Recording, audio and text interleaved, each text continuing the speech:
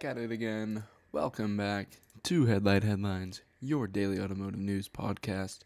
Today, we have some really good news, especially about the Tesla Cybertruck if you're interested in that. And we'll get to it here in just a moment. But before that, be sure to check us out on Twitter at HLines. You can always find a video version of this podcast on YouTube at Headlight Headlines and also check us out on Instagram and TikTok.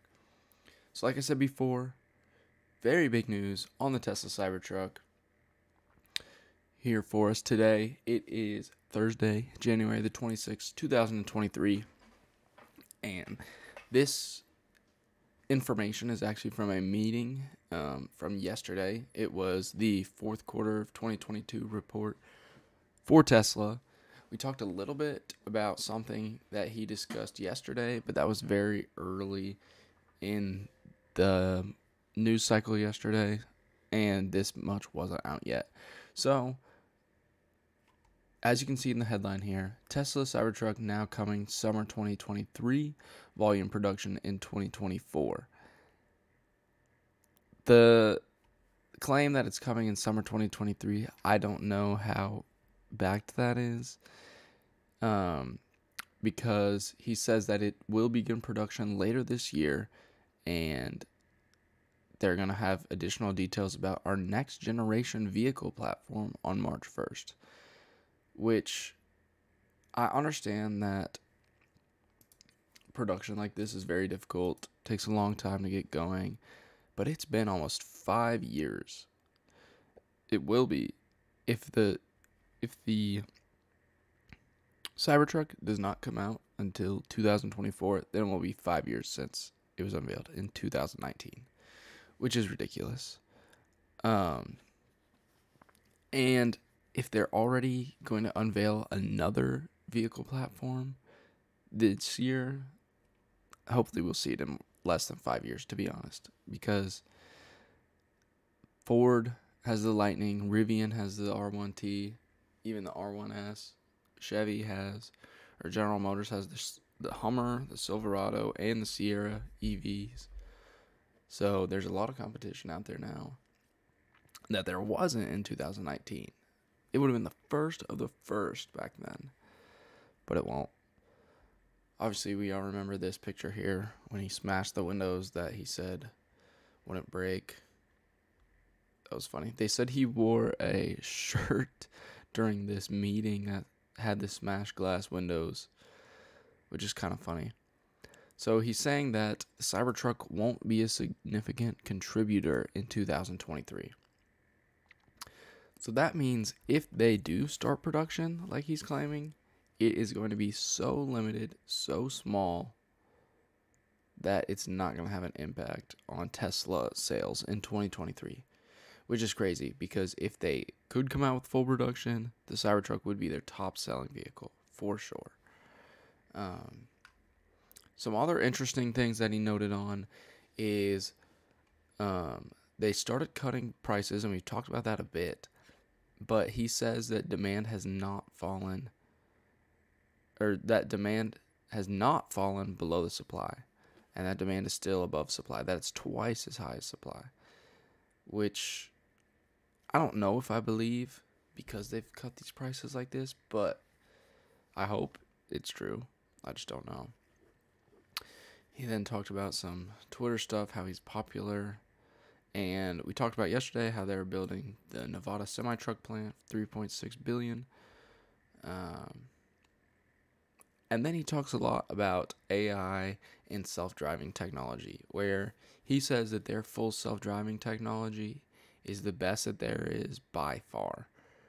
He doesn't think any automaker right now will come even close to his AI self driving tech. And he thinks that the only people that can get close are some Chinese company um, because of their hardworking competitive culture. He expects them to be second to Tesla, even though Tesla is the biggest in China still.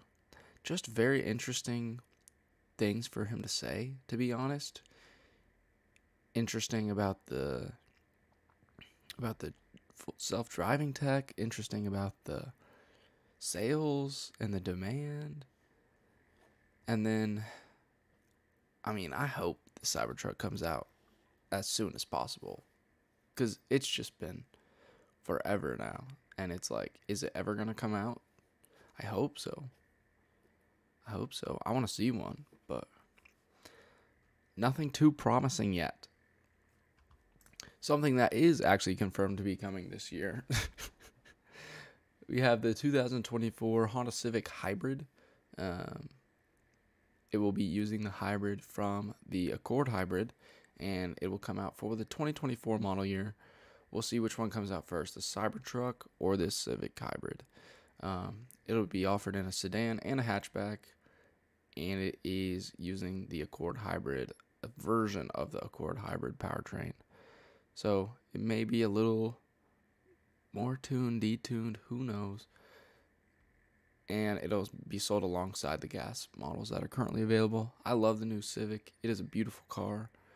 It is very nice. Interior is very nice.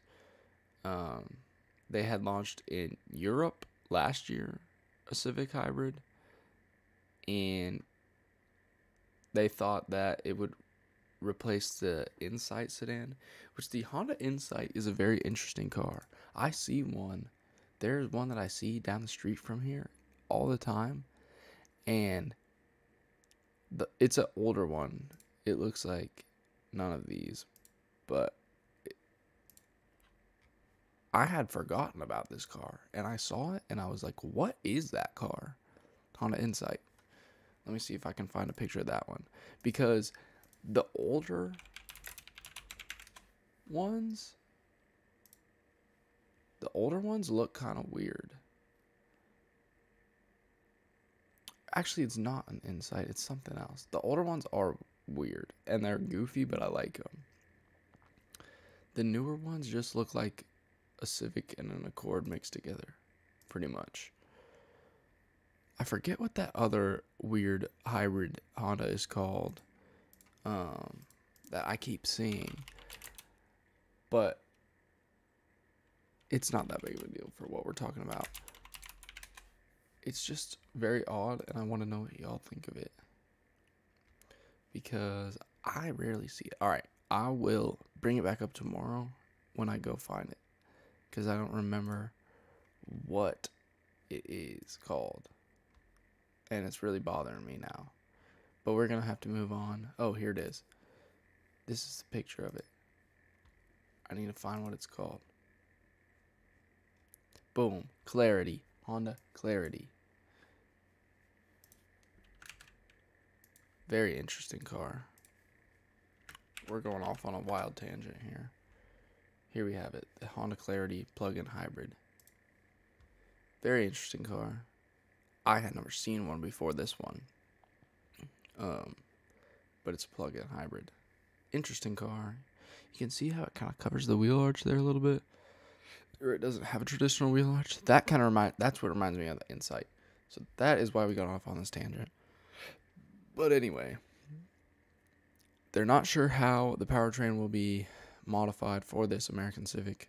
Right now, um, the hybrid Accord is 204 horsepower, and the European version has 181 horsepower, so I'm going to say somewhere in that same range. It'll be pretty close. Um, I'm interested to see where they go and see if they ever want to make a electric Civic. I'm sure they will soon. Uh, but Honda ma- mainly is doing hybrids right now. Besides that one SUV uh, the prologue that they're working with General Motors. But you know who has no hybrid cars? Acura, which is the luxury version of Honda. And they say that they are skipping over hybrids and moving from gas powered cars to EVs directly. And they're also moving to 100% online sales. And we'll get to that in a second. But we know, we just talked about the Honda Prologue, which kind of looks like this, but it kind of doesn't because this is the Acura ZDX, which is the Acura version of the Honda Prologue. Um, and they basically just said yeah, we know we have no hybrids and we're not to make any hybrids. So, we're to make electric with Honda. And it's like, okay. But they're not just making electric because they still have to make the Integra Type S, the TLX, all those cars. But they're moving towards the 100% electric as quickly as they can. Obviously, that can't happen overnight. And then they're shifting 100% to online sales. So it will not cut dealer franchises out. You can still go see it at Acura dealers, but you have to order them online instead of talk to the salesman there.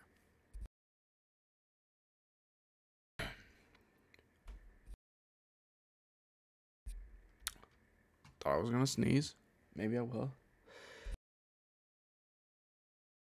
Alright, never mind. I did. I sneezed. Anyway, no sn- no salesman talk. You just got ordered online. Very interesting, because you know Tesla, Rivian, these new electric companies are doing just online sales, but they don't really have dealers as much, so it's not really the same. Um, but they are starting online sales with the ZDX, this electric car, and the ZDX Type S. Which most people order cars online if they're getting a new car now already because they want to get their options and they want to do it their certain way, which is fine. There's nothing wrong with that. So, dealers have kind of obviously for used cars, they're always going to be dealers. So, and then they talk about Honda a little bit, which not that interesting to be honest. But you know what is interesting? This right here. Kia three row SUV, possibly. Details leaked by owner survey. I know that's a lot. I know I sounded dumb when I said that. But here's the Kia EV9. We've talked about it a little bit. It is wild. And they're saying it's to be three rows, possibly.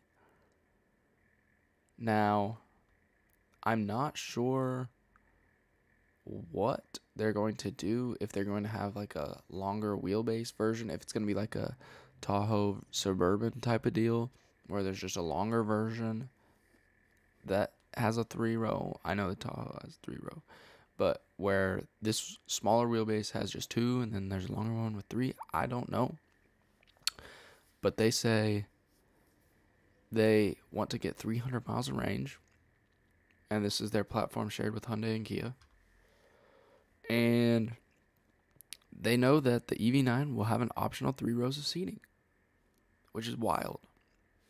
They're still testing this vehicle, but this box looking thing, it looks kind of cool, to be honest. It looks futuristic. And I know it's just a concept, but they're saying on this survey, so this this survey that they're talking about here was leaked to Telluride owners which is their three row big SUV. Um, they're saying there might be two power configurations 200 horsepower, 250 pound feet of torque, and 400 horsepower with 480 or 380 pound feet of torque.